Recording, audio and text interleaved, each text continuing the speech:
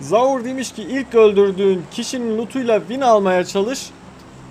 Beğeni sayısını söylememiş. Abone sayısını söylememiş. O zaman sizde arkadaşlar. Hemen deneyelim. İlk vurduğum adamın lootuyla oyun sonuna kadar oynamaya çalışacağım.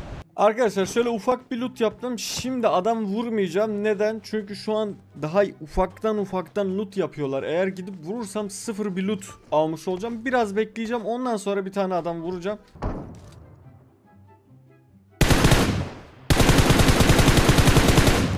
Önce soldakini vurdum. Oy! Gördüğünüz gibi. Bu adamdı değil mi? Avuk mu? Oo, Avuk M4. Güzel kill çıkacak. Ben böyle gidiyorum. İki nak.